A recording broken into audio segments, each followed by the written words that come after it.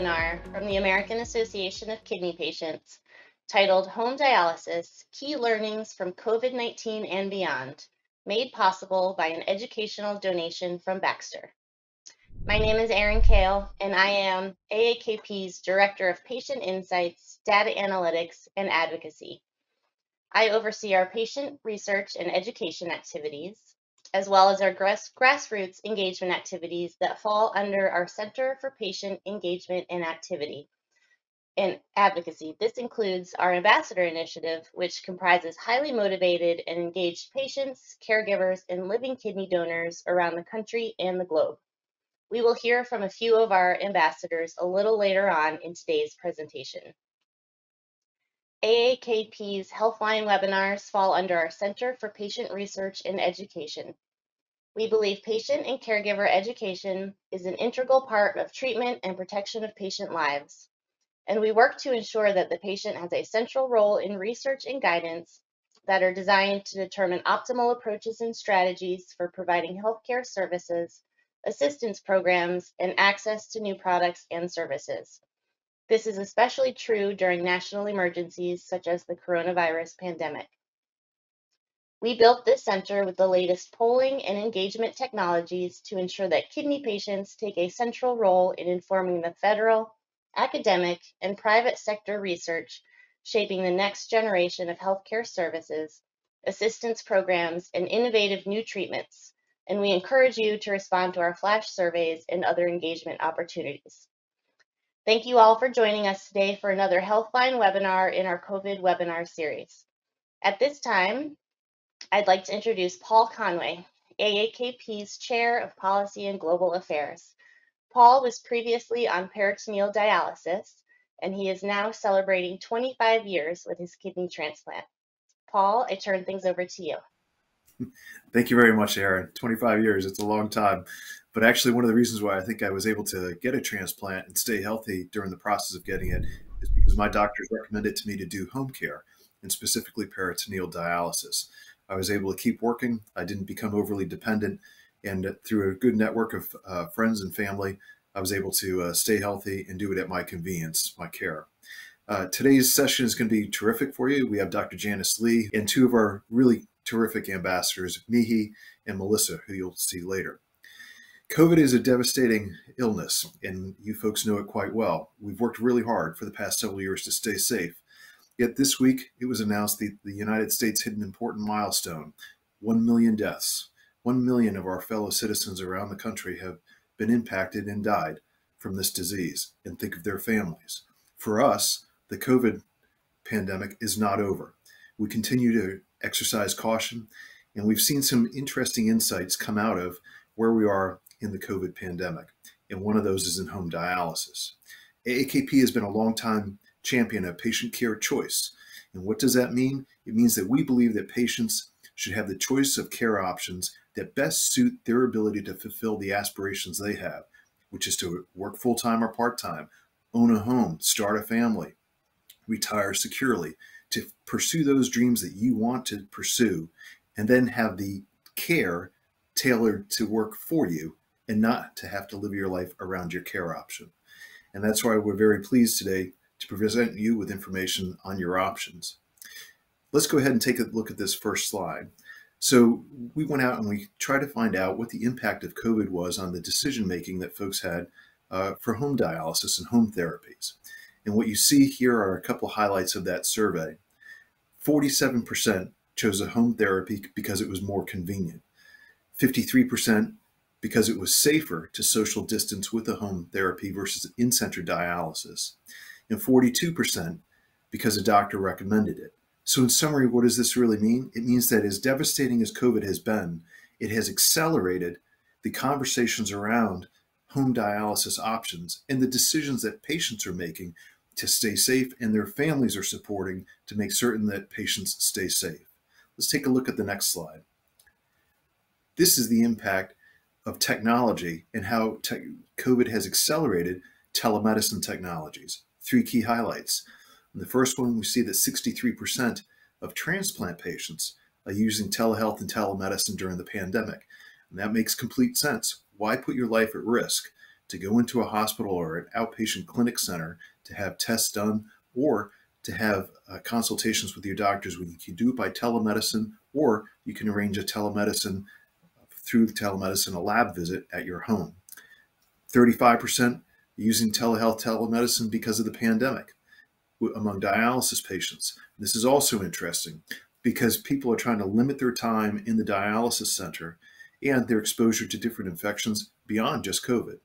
And in the last point here, 39% started using telehealth and telemedicine for their patient appointments due to the pandemic. And this is healthcare professionals. So not only has uh, COVID and technology driven opportunities for patients, but just as importantly, they've driven opportunities for providers and for the medical community to kind of get with the program where patients really are, which is we demand and expect flexibilities and rapid, rapid implementation of technologies so that we're safe and care is convenient to us.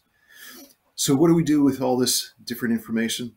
Here's what we're doing right now, and we're in the middle of with a lot of support from our ambassadors around the United States. We're developing discussion guides or, uh, or conversation starters that patients can have with them and their families to start the conversation with their providers before they ever go on dialysis about what their options are and what does home care provide for the patient not just in terms of medical care in terms of extra filtration and all these different types of things and the flexibility of therapy but all the other issues that come along with that like caregiver burden. How do we reduce the number of trips? How do we keep people safer? Those types of things.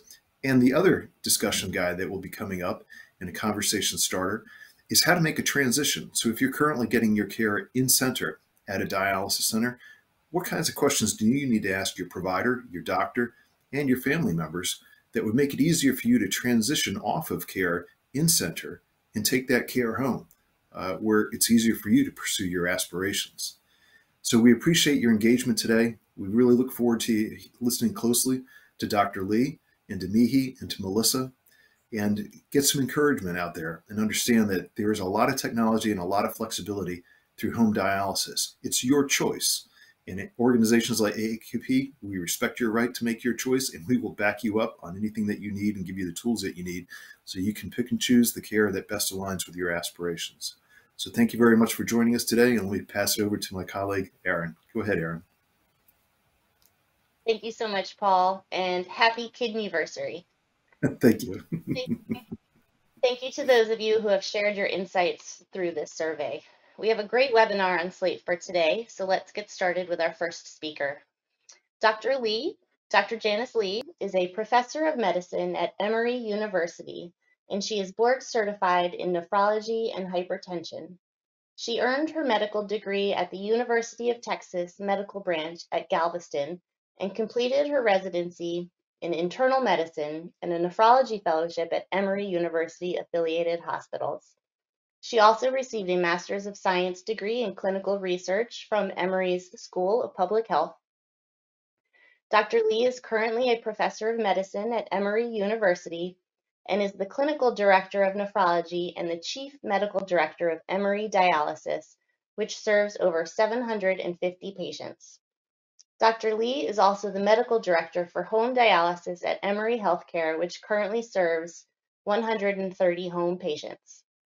Dr. Lea's research and clinical expertise are in hypertension, chronic kidney disease, health disparities, and dialysis. She is a nationally renowned expert in hypertension, designated a clinical specialist in hypertension by the American Society of Hypertension. Dr. Lea also designated is also, excuse me, is designated a master clinician by Emory's School of University and serves as the director of telenephrology at Emory since 2017. In addition, she serves on the board of directors for the American Association of Kidney Patients. And Dr. Lea has been named one of Atlanta's top doctors for the past 10 years and is recognized nationally for her expertise in clinical research and patient care. Thank you so much for joining us today, Dr. Lea. I will turn things over to you.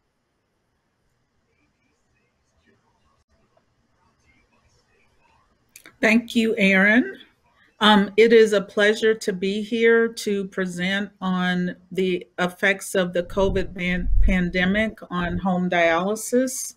So, I am currently a professor of medicine at Emory University.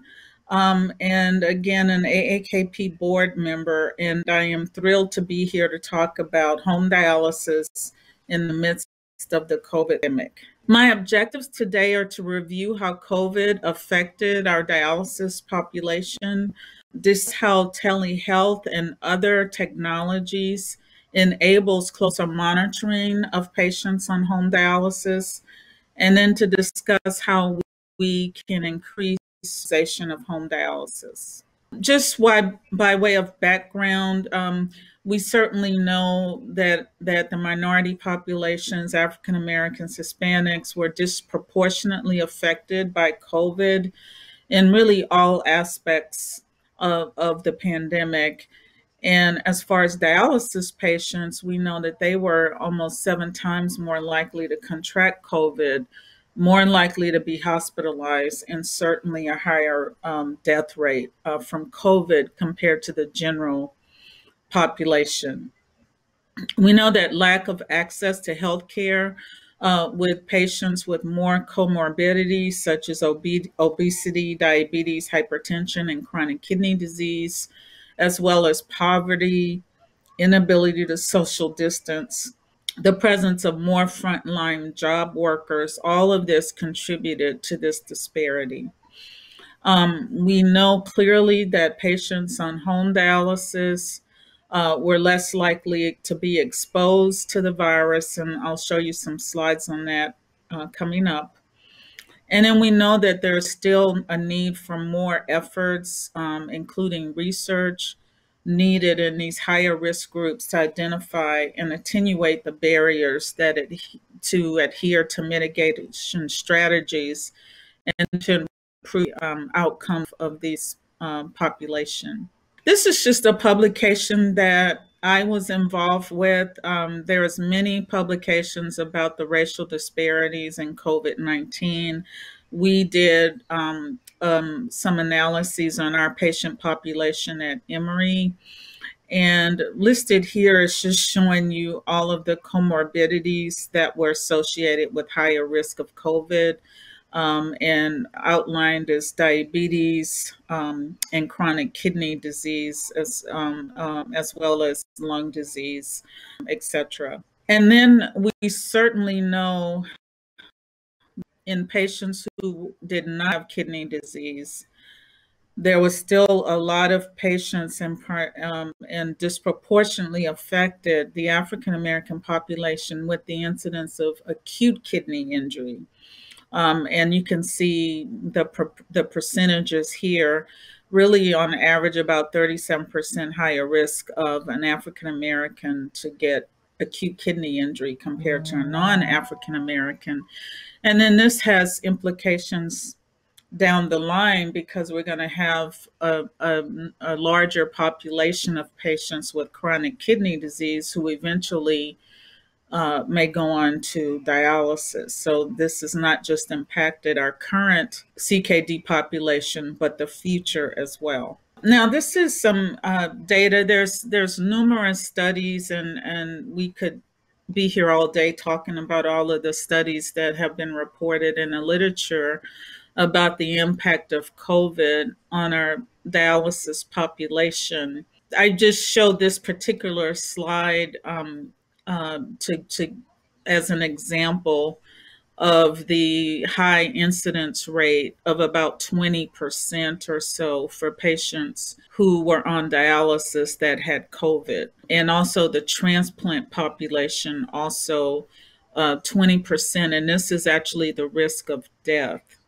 Um, and so this was a substantial uh, impact on, on, on death rates compared to patients if you can uh, see this bottom line on both of these graphs, this is the patients without um, COVID-19. So if you are a patient with COVID-19 or a transplant patient with COVID-19, you had almost a 20% higher risk of death compared to those who did not contract um, COVID. And this is looking at the home dialysis population and the diagnosis of COVID and then the mortality rate. And this particular um, study looked at both phases, so the beginning phase and then the later phase um, of, of the pandemic. You know, there was a good percentage of patients on home dialysis who did acquire um, COVID, um, but 4.5% and 6.4%. And then the important issue is the mortality rate is much lower than the than the general dialysis population of about 13%. Um, so definitely these patients were impacted, but at a much lower rate and improvement or reduction in death rates um, compared to their in-center counterparts. So what did we learn from COVID? Well, you know, we could be here all day again talking about lessons learned um, in all aspects of our society. Um, but certainly for the renal community, I mean, we all live through this. We know that it's difficult to socially distance in a typical in center dialysis unit. There was a whole lot of efforts made, uh, protocols to have more um, proper PPE and proper sanitation, etc. Um, just heightened hygiene efforts in our dialysis units um, development of isolation rooms, and even dialysis units that exclusively dialyzed COVID patients. So it was a lot that was done to help reduce the risk of exposure. But certainly, we know that patients dialyzing at home were more able to limit their exposure compared to those um, in center. I think the biggest lesson learned from COVID, and I would say this is impacted our whole society and healthcare was the use of telemedicine, and, and we'll talk a little more about that. That was a godsend, really. It's a way that we could still connect with our patients, and, and particularly for the home patients who had to still come into the clinic uh, at least once or twice a month. Um, you know, the in center patients, of course, didn't have a choice to come in um, and there was a lot of efforts to reduce the exposure to the staff, um, etc. People working remotely. For really for the home patients, this was really an important measure so that these patients could stay connected because they weren't coming in um, to the centers as the in-center patients were. I just show some data um, um, from work that we did before and just looking at um, and this was prior to the pandemic, that there was indeed racial disparities in home dialysis utilization. Um, as you can see for this slide, we have the percent on PD. Nationwide, I would say the utilization of PD is around 11 to 12 percent. Um, but we could see in this particular table that the African American population was almost half of the white population, better utilization in Asians, and even better in um, Hispanics. Um, the African Americans were the lowest. Um, all the racial groups were low in home hemodialysis um, utilization, um, but still the highest in the white population. Now, this data. Um, this was published again before the pandemic, but it compared the trends in home dialysis utilization according to race. Um, and the time periods uh, were from 2005 to 2013. And so the earlier part of this was up until about 2010 or 11, and then um, the patients after that up until 2013. And you can see that there were some some improvements in utilization of home dialysis, um, 8% to 10% uh, in the uh, white population. And this was very encouraging in the African American population, 5 to 8.3% also increases in the Hispanic population and, and also in the Asian population. So even prior to the pandemic, we were seeing some improvements in, in utilization of home dialysis, but still, I think most of us would agree these are still overall low utilization rates and certainly something that would be very useful for our population at times such as the pandemic for us to have higher numbers on home dialysis. This is just showing um, just information about who chooses dialysis and is it really the patients or is it their uh, caregivers um, as far or providers and um, physicians, etc. Um, and just highlights the importance of patient education and choice. So this particular study that was published in 2016 um, just showed that if if the patient had the choice and was given the choice, 95% of them would choose a home dialysis measure. In this particular case, it was peritoneal dialysis. Um, of those who were on in-center hemodialysis and were surveyed, they were told that 40 only 47% of those patients actually had a choice of choosing in-center. So that means 3% were basically told or directed towards in-center dialysis without any discussion or consideration for for home modality. And this is really in contrast to what providers, nephrologists, nurses would choose for themselves. Um, and so if they were asked about if they had to go on renal replacement therapy, what type of dialysis, and overwhelmingly over 90% would choose a home uh, regimen. And so, really, I think the, the focus is for this change to where we're getting these higher numbers for patients who choose to start on home dialysis. We all know that there is such a more emphasis on patient priorities and perspectives.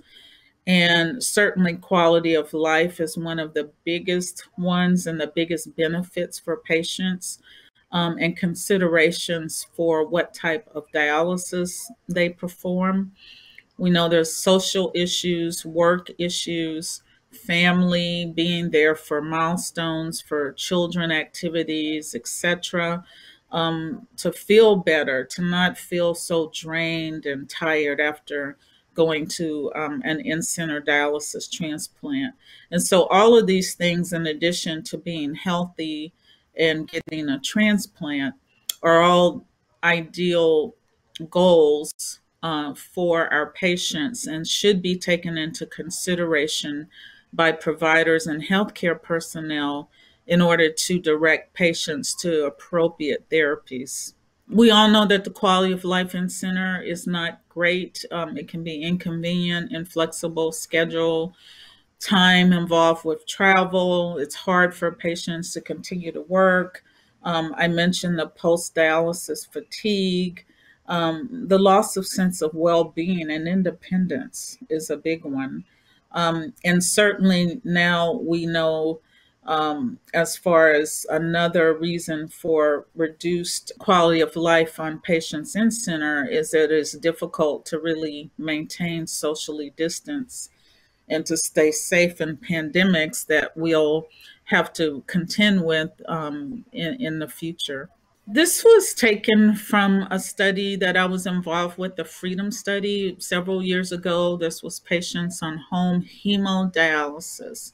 And so they reported all of these symptoms compared with how they were when they had in-center dialysis and and it was all markers of improved quality of life less fatigue less stress less time for full recovery after treatment and anyone here that has been on dialysis knows exactly what that means um, less headache nausea vomiting less hypotensive episodes when you're doing a daily uh, hemodialysis regimen.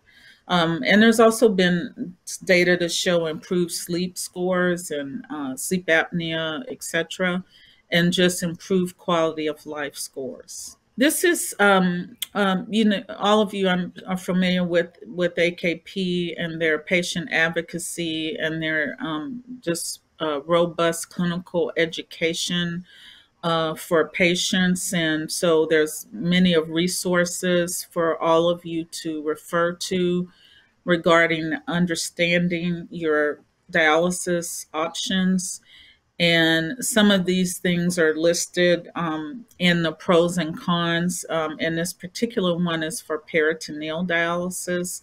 There's gradual fluid removal instead of getting two or three liters or more per dialysis uh, treatment in center. For both home hemo and PD, you get definitely um, better blood pressure control because of the gradual fluid removal you have better control of electrolytes, potassium, phosphorus. Um, you can travel.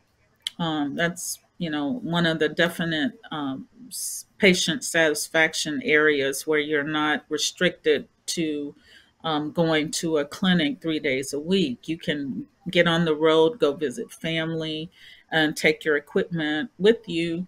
Have uh, whatever other materials as far as bags of fluid mailed to you wherever you're going, um, and the ability to maintain employment. Now, at the same time, there's there are some downsides to being on a home dialysis, and that's why it's so important to have proper education, um, good training with the nurses, because there are risks of infection um, due to peritoneal dialysis. Um, over time, the peritoneal membrane may not work as effectively. Um, but you have to work with your healthcare team, your physician, in order to minimize these risks um, and identify them early on um, uh, before you get into any um, serious uh, problems. So, for some patients who decide whether they do PD versus hemodialysis at home, these are just some of the areas or questions considerations that will allow them to choose one or the other. And so that's how motivated they are, how much training time is needed uh, for both. It's usually longer for home hemodialysis compared to peritoneal dialysis. Some patients prefer to either have a not have an AV access in their arm or they would not prefer to have a PD catheter in their abdomen. So these are all things that are discussed with the patient and what they feel like they um, could live with. The actual treatment schedule varies between home hemodialysis and peritoneal dialysis. Um, and peritoneal dialysis usually can be done, um, it, it needs to be done on a daily basis, but can be done at night um, so that these patients can be free during the day. Some patients are afraid of needles, and, and that's understandable.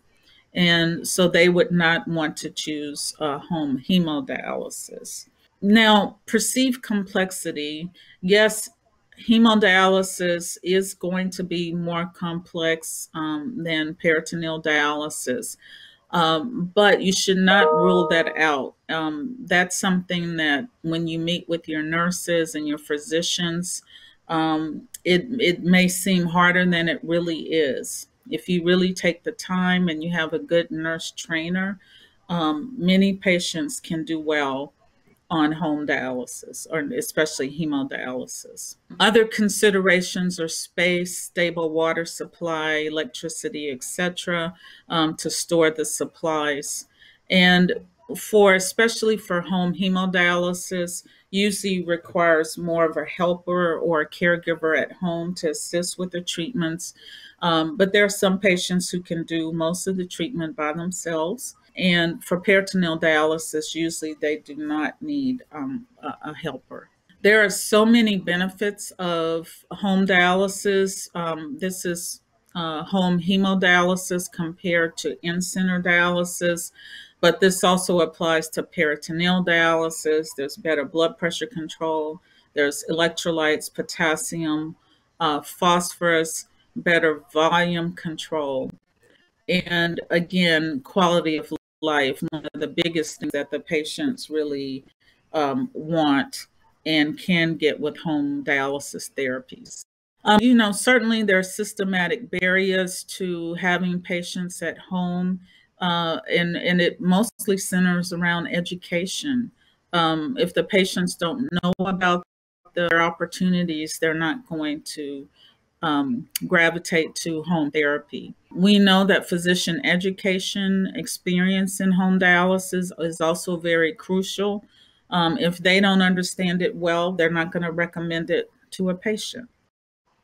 So those are important issues. Um, and having dedicated and well educated nurses to train patients is also very important. Safety concerns at home. Everyone is familiar with the American um, Kidney Health um, Initiative that I believe was 2019, um, pretty much right before the pandemic that was announced. And we all are who are advocates for home dialysis love having um, a focus and a desire to see more patients at home. Um, but we also need to make sure that these patients who are directed at home have adequate resources and that there's equitable um, opportunities uh, for patients to go home. We want to make sure that the patients are well educated and we want to also make sure they're supported with appropriate technology easier to use technology and access uh, to providers and nursing staff to help assist them with any problems that they may have. There's exciting things going on and um, with with innovation and making dialysis safer. So this is really a good time in home dialysis. Um, the pandemic just really um, increased um, awareness about home dialysis and really the need for it, um, as it is the best way to avoid um, exposure to other persons and, and contracting COVID. So there's better educational tools and support. There's the development of telehealth and you not only just having access for the patients to see their doctors, but there's also exciting technology for remote patient monitoring.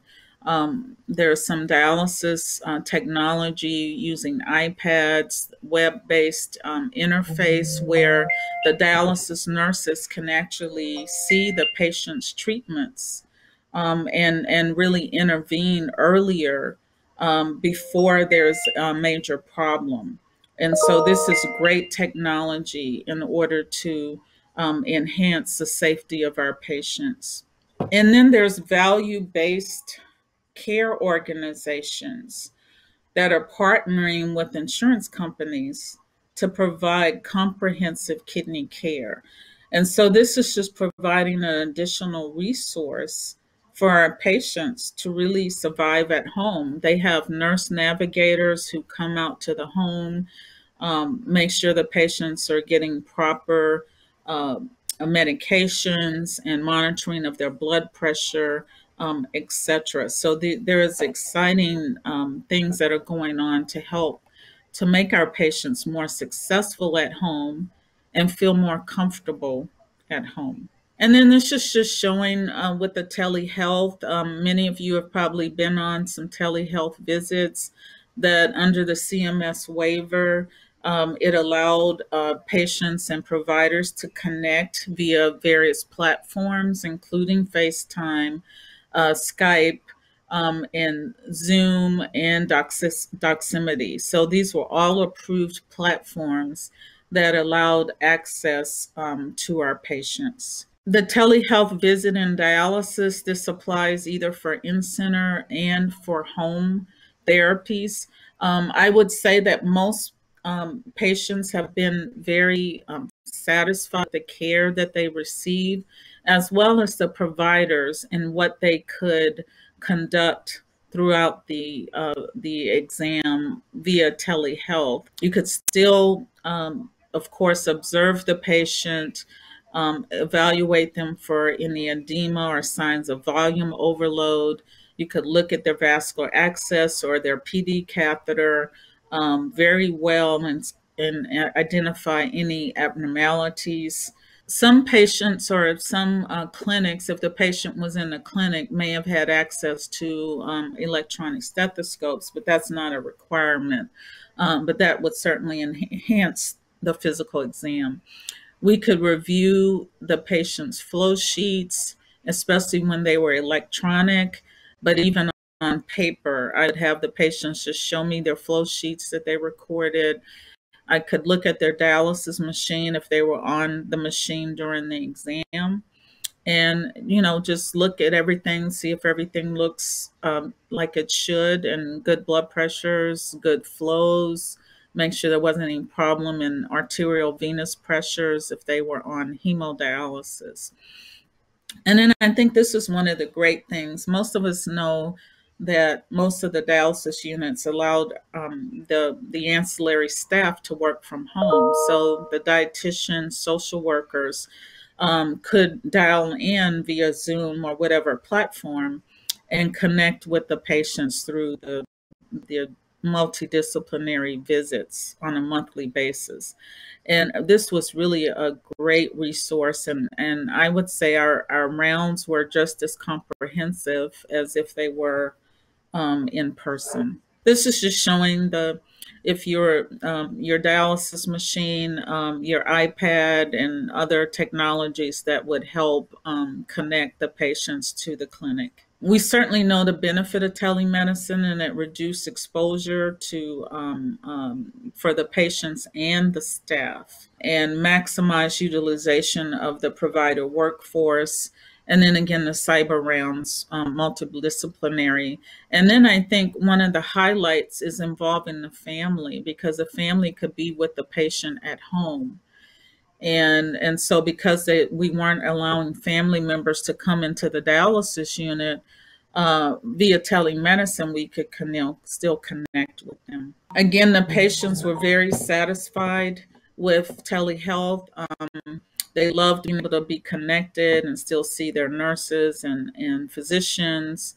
Um, they loved not being able to to have to pay transportation costs, get in traffic, pay to park in some sense, instances, um, and just the improved patient satisfaction and quality of life. I actually think after the pandemic have a hard time with patients coming back into the center on a regular basis because they're so used to being at home. And um, I'm sure that most practices will continue home dialysis uh, telehealth visits um, to some degree um, in their practice going forward. The benefits is earlier diagnosis, treatment. Um, you could look at their exit site, see if there are signs of infection earlier than waiting for the patient to, to come in, and they might not have transportation, etc.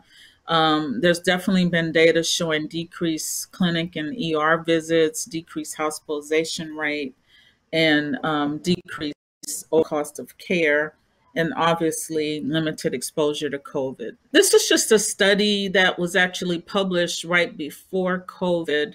There's of other studies since COVID um, showing the benefit of remote patient monitoring, and this is a group of PD patients.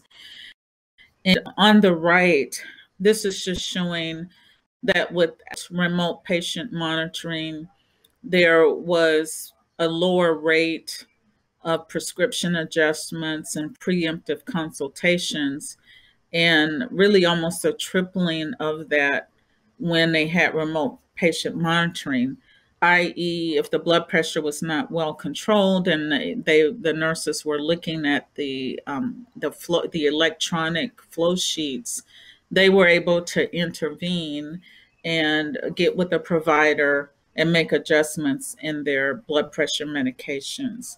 And, and this study also showed nicely a nice reduction in blood pressure in those who had um, exposure to remote patient monitoring.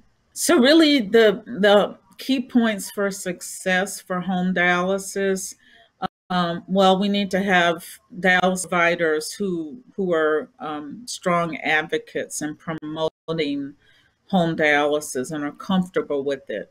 we need to make sure our training programs for young nephrologists include adequate exposure to home dialysis. Knowledgeable and dedicated nurses is key. New technologies for ease of use. And so many um, companies are working on new machines that are easier to use at home.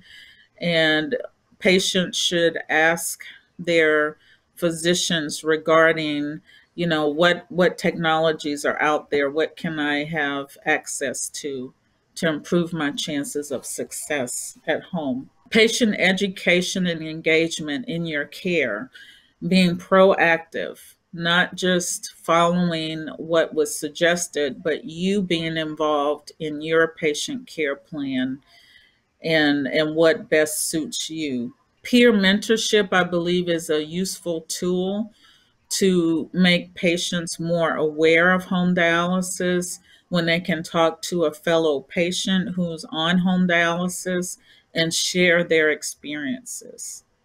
Um, we certainly need to continue to leverage the use of telemedicine um, to increase the utilization of home dialysis.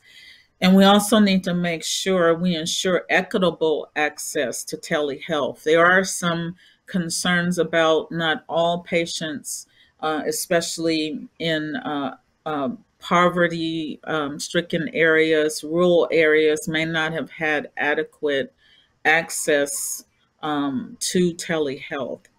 So we need to make sure that there are policies in place um, to make sure that all patients have access.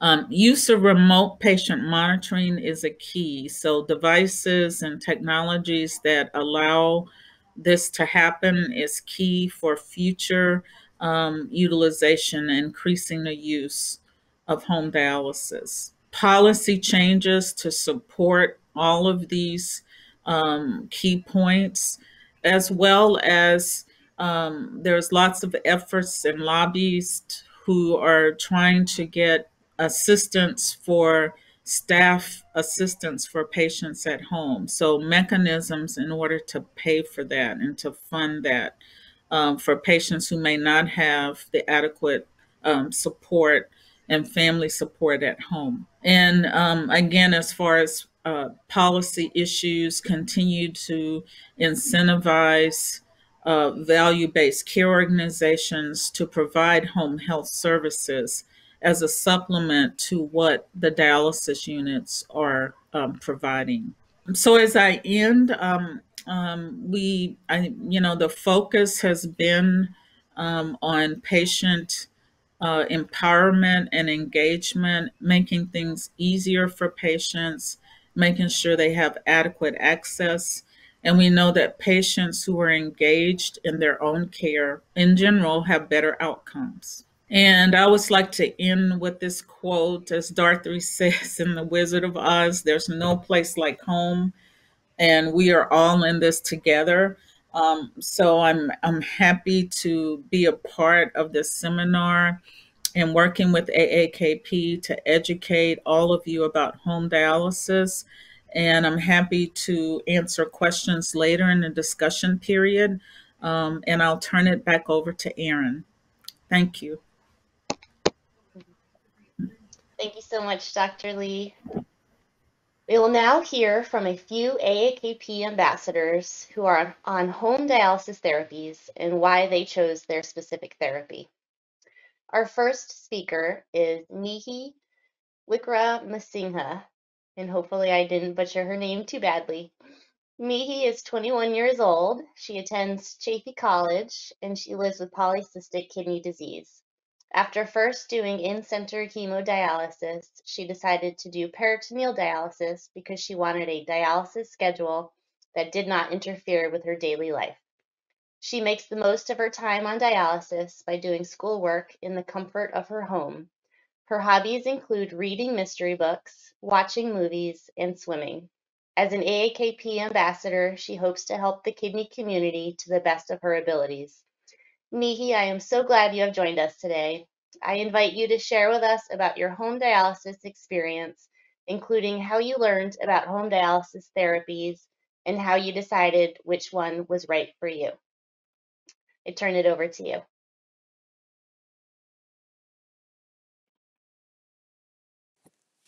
Hi, everybody. Um, you know, I do peritoneal dialysis.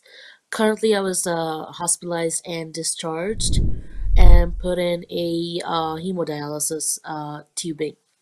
But as of right now, until we can get settled, um, I did do peritoneal dialysis.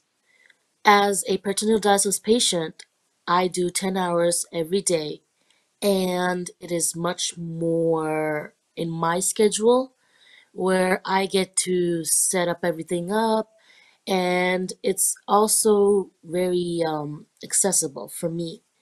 I get to go to college, I get to do all the fun things I still can, and I get to spend time with my family because I'm at home. And I also, if I need help from my family, I still able to get it.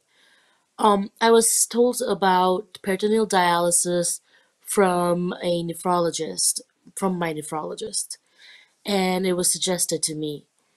And at first, I didn't think it was a good idea because I was told it was 10 hours every day, and I was very worried that I wouldn't be able to set everything up, and I had to get training.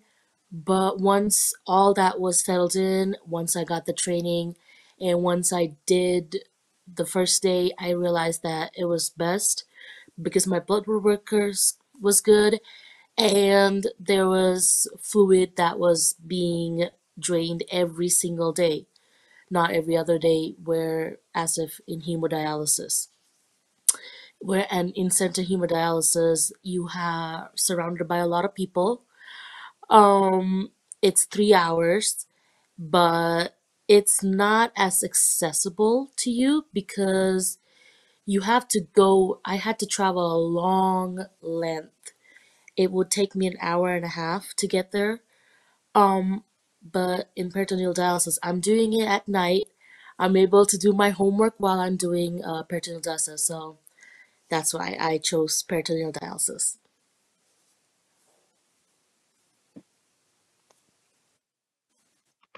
Thank you. Thank you so much, Mihi. We appreciate you sharing your journey with kidney disease and dialysis.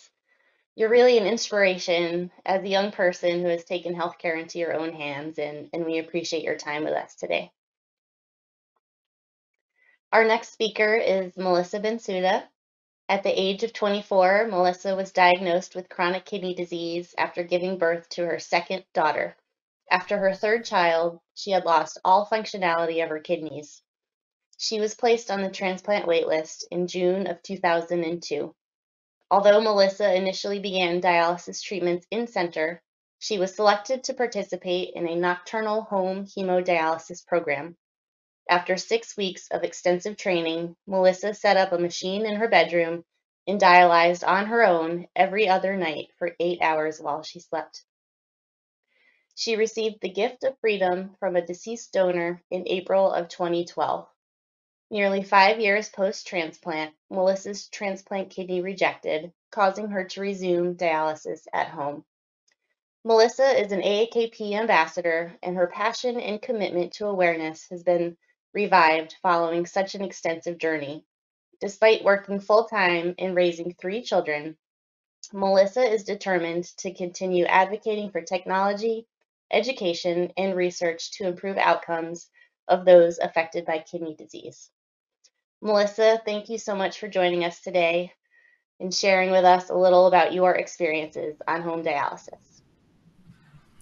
Hi, Erin, and hi, everyone. Thank you so much for the opportunity. I'm glad to be here this afternoon. Um, in terms, I, I, think you summarized part of my journey very well. I started home hemodialysis um, about five months after I started dialysis in general. And you know, my driving reason for that was because at the time I was 27, I had young kids. I wanted to have freedom.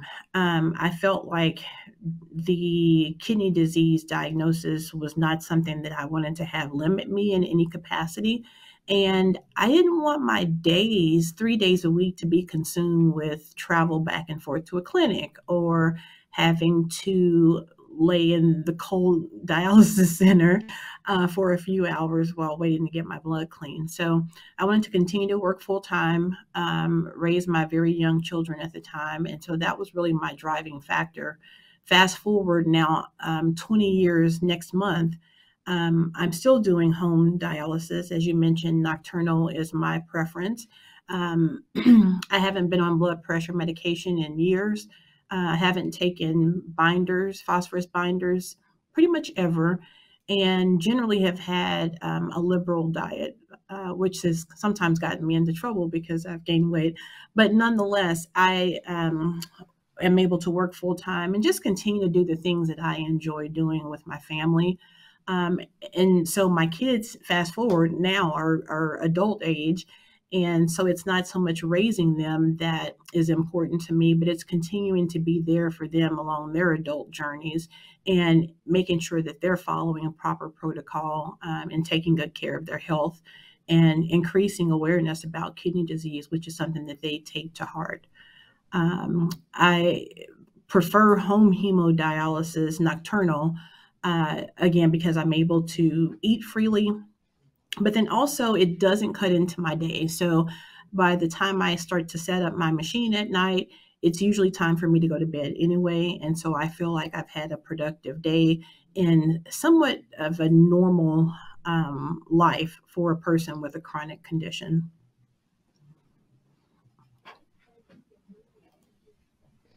Thank you, Melissa. It's so good to see you. It's been a long time. Thank you so much for uh, for sharing your perspective and your personal experiences and, and why home dialysis works for you. We'll now bring back all of our speakers and address some questions that individuals sent in. Uh, some of these questions may have been addressed already during the presentation, but it would be great to, uh, to reiterate these points. Uh, so the first question here is, um, probably for Dr. Lea. Are you aware of the percentage of in-center hemodialysis patients that shifted to home dialysis during the pandemic? Yeah, there's um, not a lot of information about that, but I did um, um, see in a, in a couple of areas where, um, for example, Fresenius reported that they had a 25% increase in home dialysis in 2020 compared to 2019. Um, now, how much of that was changing from in center to home hemo or just starting, I'm, I'm sorry, to home dialysis or just starting on home dialysis? I'm not clear. Um, but certainly there's higher numbers of patients on home dialysis um, compared to before the pandemic.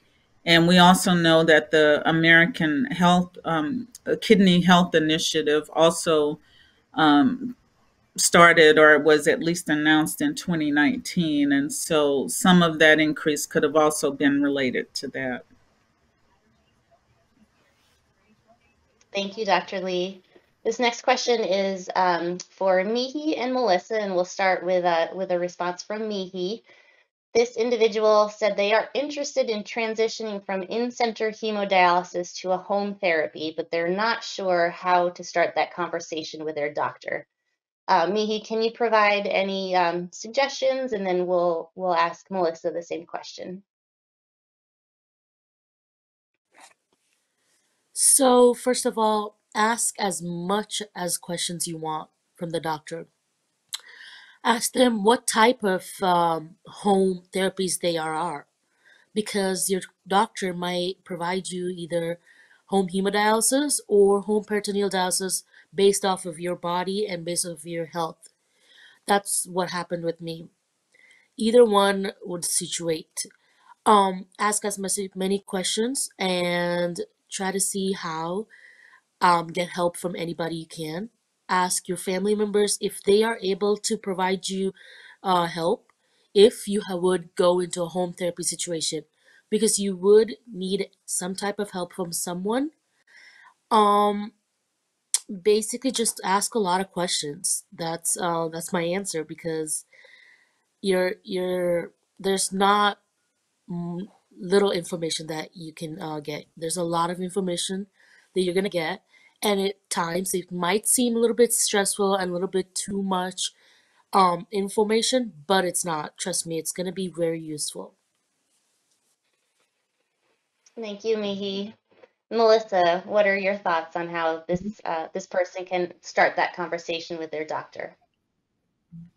So I think that you know, just starting out the conversation with the question of you know, what are the differences between in-center and home dialysis, and in terms of like functional differences. So, you know, to be more specific, what are the things that I, as a patient, can do to prepare myself for home dialysis if I'm a candidate. Um, so some of those things may be sticking your own needles um, in center. So that's kind of how I started out. I, from the moment my fistula developed, I think I was infiltrated like twice, and then I decided, yeah, I'm probably going to start sticking my own needles.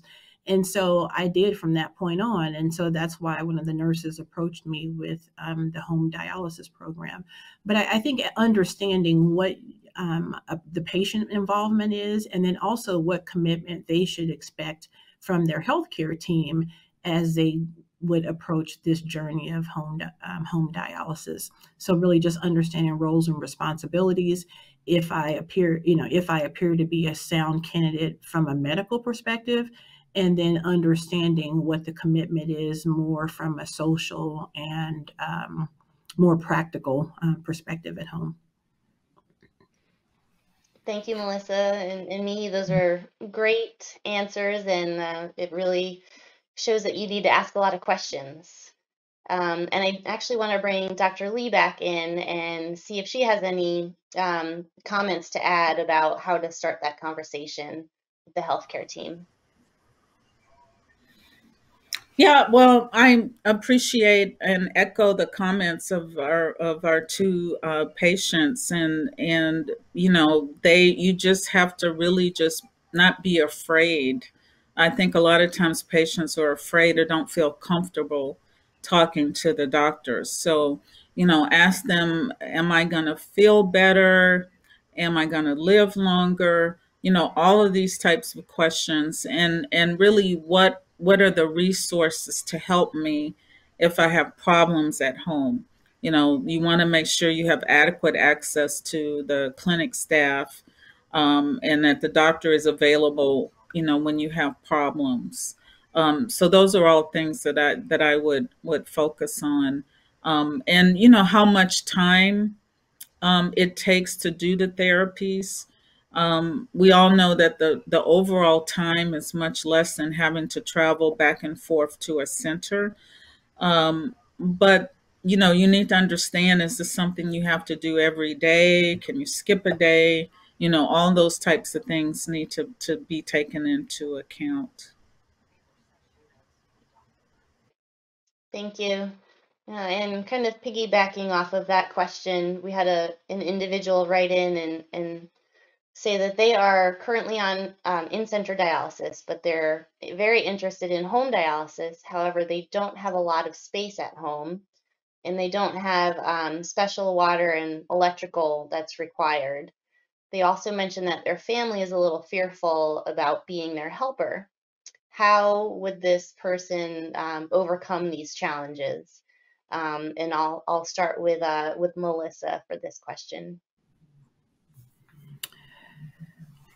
so I, you know the first thing i kind of break that down a little bit in terms of spacing the beautiful thing is there are more options for home dialysis therapies either so ranging from the type of machine that you use if you need an actual water system or not. And so i think this part speaks to the point about understanding the options that are available and making sure that there continue to be options available.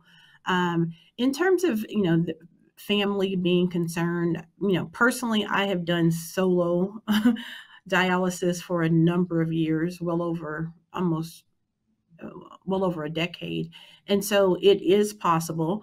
Um, but I do think it's helpful to always include your family or care partner or team in those conversations with you so that some of the myths can be dispelled and each pe- person can hear exactly what's involved and what the time commitment is and what the risk of you know challenges could be. Thank you, Melissa. Mihi, do you have anything to add into that about um, this person's family maybe being a little afraid or unsure of, of what is involved in being a helper and um, an issue about the space? Um, I know with uh, peritoneal, there's a lot of um, a lot of supplies needed. So can you speak to that a little bit? Yes. Um, as a person in the past who lived in an apartment, uh, there was there was not much space, but you know we made what was possible, um, and we had to put boxes in the living room, and people would who would come in would see all these boxes and would question it. Um, but the thing was, we would make what was possible. And to people who, you know, who are questioning, who has family members who are questioning and are concerned about helping out, well, you know, what you can do is uh, sit them down and give them all the information, all the facts, and all the pros and the cons, and maybe tell them to ask the questions that they have from, from your doctors, from your nephrologist, and any questions that they might have from you. Um, but mainly, you know, having that support is helpful. Maybe they're concerned that they have to do be a bigger part than they think, but tell them that no, you know what? This is a team effort. Um, yes, it's gonna be at times difficult, but you will make with what you get. And I do remember at a time it was impossible. Um, not all my family members agreed with uh, the situation, but I had to sit them down and I had to sit my doctors down and let them talk to my doctors and let myself be silent. So whatever they questions they have, whatever the information they needed from the doctors that they can get it.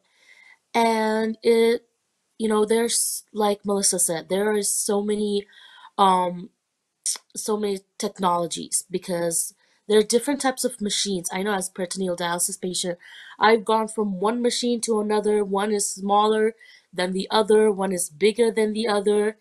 And you can always have that discussion with your doctor, and you can also have that discussion with your social worker and see what would benefit for you. Maybe going home, hemo, home hemodialysis is a little bit difficult with all those items. Maybe peritoneal dialysis is better, or maybe going home hemodialysis is better than peritoneal dialysis. But um, as Melissa said, there's there's different types of machines, so that is uh, more accessible for your household. So yeah. Thank, Thank you, Mihi.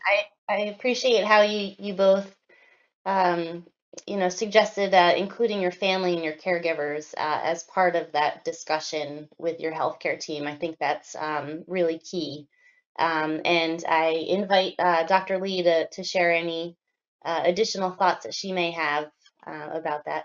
Yes, I, I would would just add that the patients and their caregivers go to the home unit, meet with the nurses, and actually look at the machines, go over how the procedure is done, so that you get a visualization of what is required. I think sometimes um, the patients just see how complicated hemodialysis looks in the center. And they say, oh, I can never do this at home. But if they really sit down um, with the staff and, and actually go over it and talk about the time for training and how they'll make them, they won't have them go home until they're ready. Um, so I, I, they may change their mind after they do that. Um, for people who are trying to decide about home hemodialysis, I usually tell them that the hardest thing is cannulating themselves. And if they could learn that while they're in center, um, then it'll make everything much easier once they get home. So that's one potential strategy um, uh, to make them more comfortable um, at home. Thank you, Dr. Lea. And cannulating is um, what Melissa had mentioned, was sticking yourself with a needle and how she started doing that uh, herself in center, uh, which kind of helps with the transition to doing dialysis at home. Uh, and one final question, and this is um, for Dr. Lea. Um, are there any, um, what are the latest innovations uh, regarding home-based dialysis? Uh, and is smart technology being utilized um, in any of these treatments? Yeah, as I as I alluded to, there's de- there's definitely um, some exciting technology. Um, you know, there's um, easier to use home hemodialysis machines that are on the market or being developed. Um, there's online water generation for for dialysis at home, both for hemo and for PD, um, to which will make the space limitations um, much uh, less um, because you're not having to store all these bags of fluid.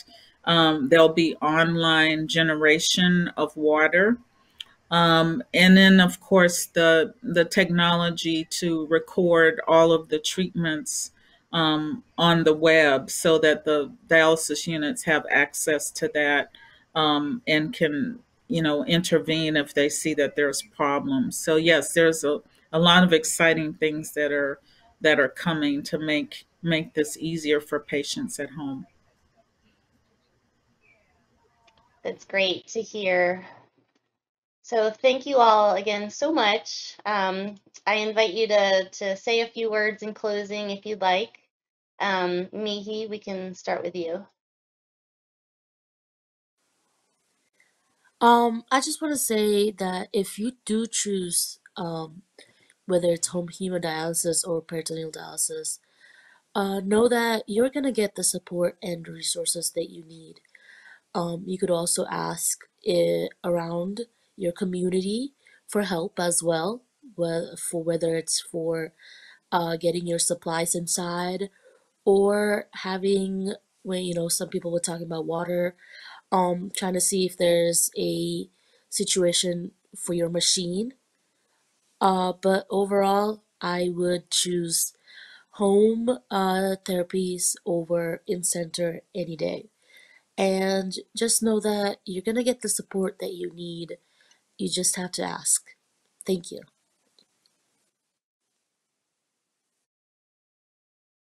Closing words for us?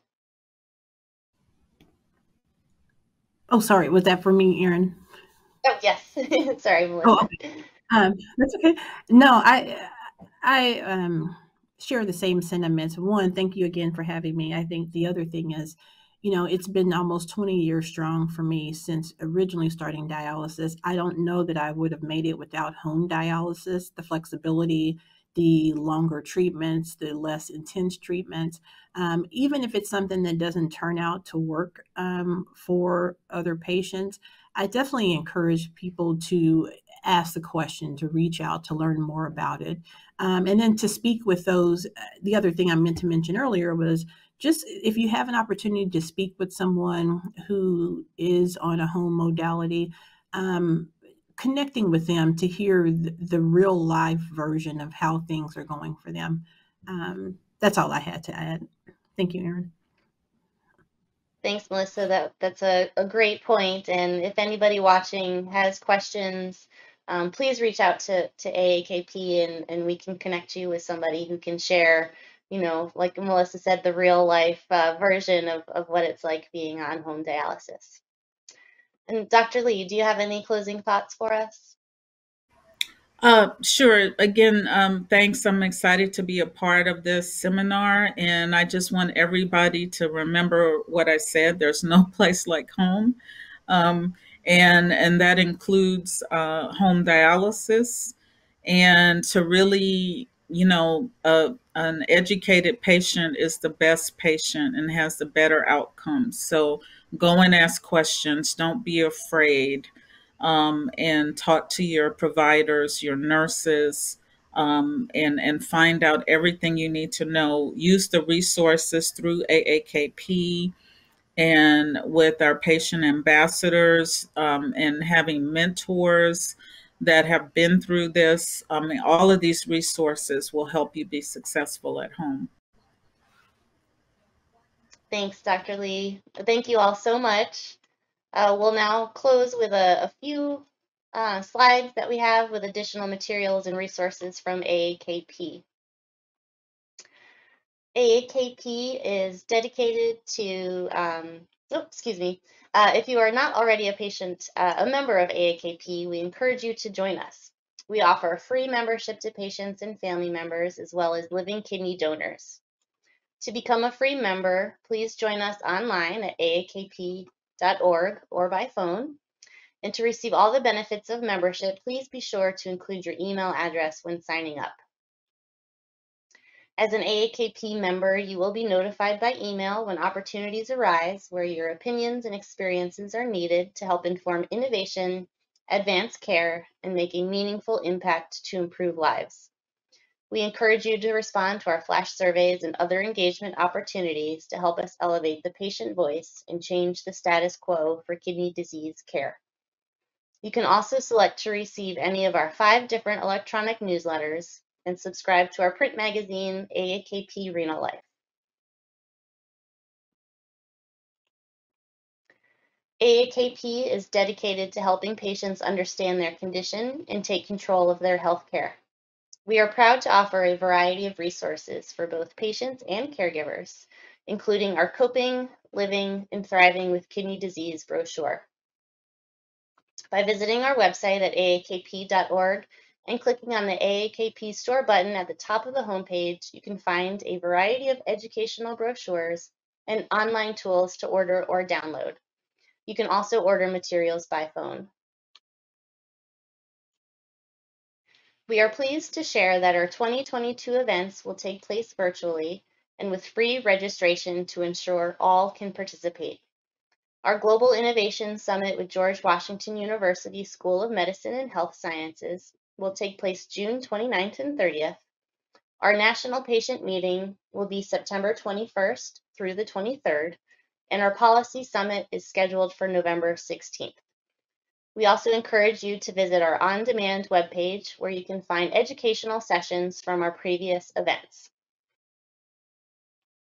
We continue to keep our coronavirus resource page updated, and you can find recordings of previous COVID webinars here.